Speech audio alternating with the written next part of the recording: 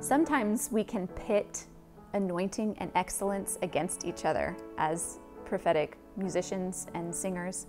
And especially as we're just starting out, we can say, Well, I just want to be anointed. I just want it anointed by God. You know, I don't care how it sounds.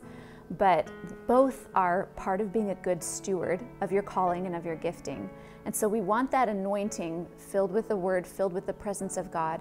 And we want excellence. We want to honor the Lord. He's great. Great is the Lord and greatly to be praised. We want to have a greatness in reaching the full capacity of our ability that the Lord placed in us. And I, I think nobody is above training. I think that's the primary way to grow is to sit under somebody else who knows what they're doing and to glean from them. And it's so important just from a stewardship point of view to be a good steward of what God's given you. And so maybe you're singing at a level six out of 10, and the Lord has secretly given you the ability to be a nine out of 10.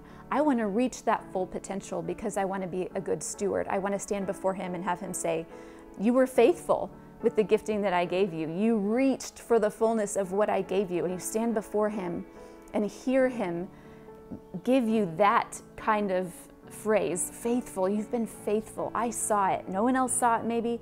I saw that improvement, and it meant so much that you took the time to get there.